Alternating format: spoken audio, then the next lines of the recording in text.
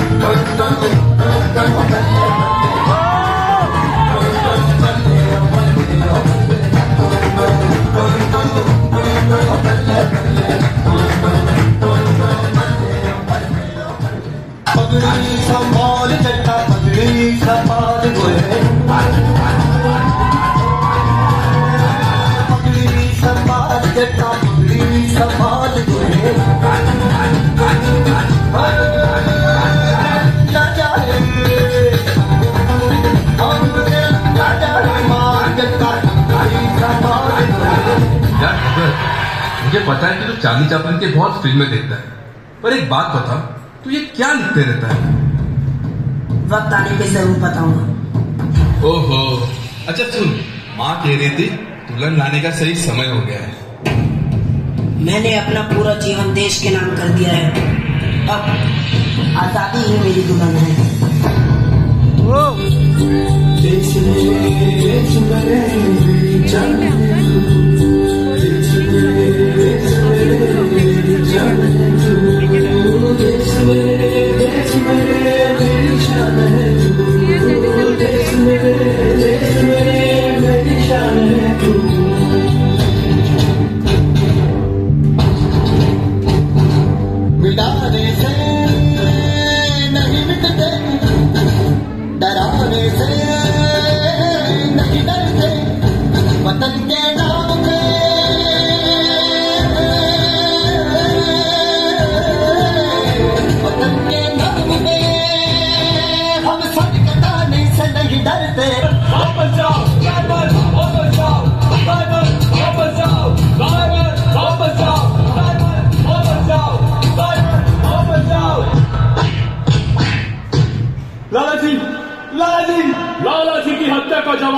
हमें British general Scott को मार के ही देना होगा। कुछ कर गुजरने को खून चला खून चला। आँखों के शीशे में उतरने को खून चला। बदन से टपक कर जमी से लिपट कर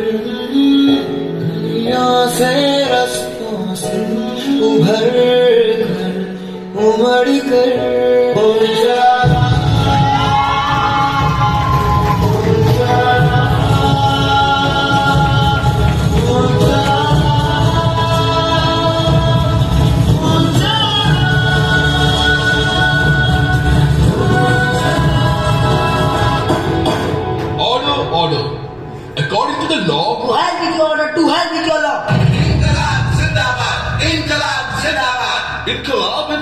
What the hell is your Inqilab?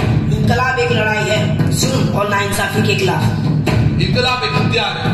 आदमी पर आदमी का शोषण रोकने इनकलाब एक ऐलान है देश के नौजवानों को एकजुट करने के लिए। इनकलाब एक पुकार है सोए हुए आवाम को उठाने के लिए। सभी प्रेमी और पागल एक ही चीज़ों से बने होते हैं। मैं ऐसा पागल हूँ जो जेल के अंदर भी आज़ाद है।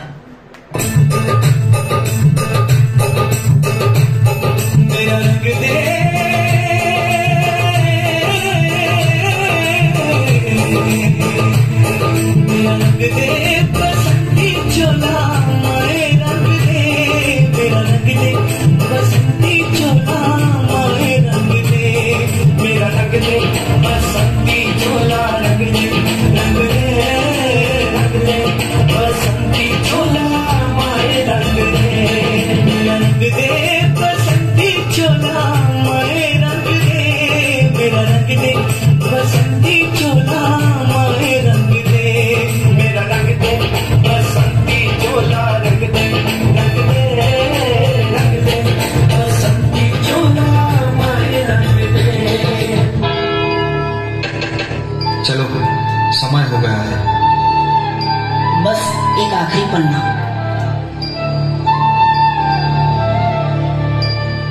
मुझे मौत का खौफ है, ना ही रब पे यकीन। मैं आ गया।